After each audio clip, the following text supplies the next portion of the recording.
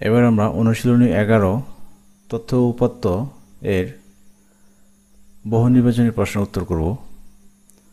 সংখ্যাবাচক কোনো তথ্যকে কি বলে? পরিসংখ্যান বলে।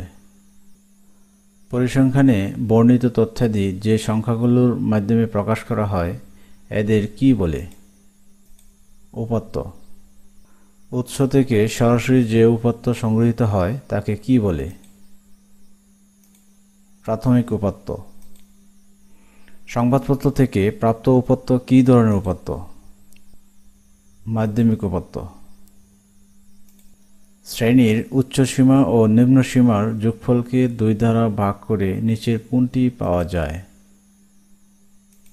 শ্রেণি মধ্যমান। একান্ন থেকে পঞ্চান্ন শ্রেণির মধ্যমান কত? একান্ন এবং পঞ্চান্ন যোগ করলে একশো ছয় হয়। তার অর্ধেক হলো তিপ্পান্ন, অর্থাৎ ছয়ের উত্তর তিপ্পান্ন। পাঁচ, চার, ছয়, তিন, সাত এর গড় কত?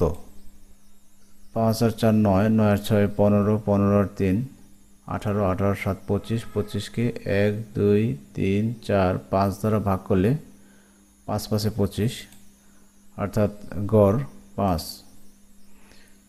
কোনো বিচ্ছিন্ন গণসংখ্যা সারণীতে শ্রেণি মধ্যবিন্দু সাতান্ন, বাষট্টি, সাতষট্টি বা উত্তর হলে শ্রেণি ব্যাপ্তি কত?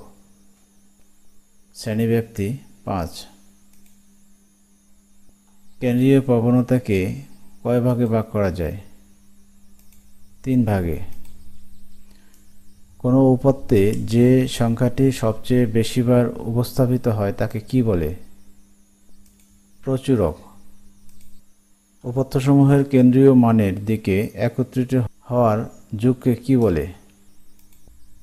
কেন্দ্রীয় প্রবণতা। উপাত্ত সংখ্যা বিজুর হলে মধ্যে কয়টি পাওয়া যাবে?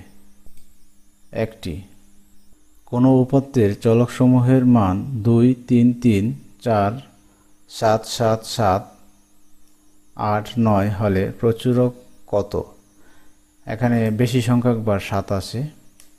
তিন দুইবার আছে সাত তিনবার আছে তাই সাত এখানে প্রচুরক কেন্দ্রীয় প্রবণতার পরিমাপ হচ্ছে, গাণিতিক গড় মধ্যে প্রচুরক অর্থাৎ সবকটি। ধন্যবাদ।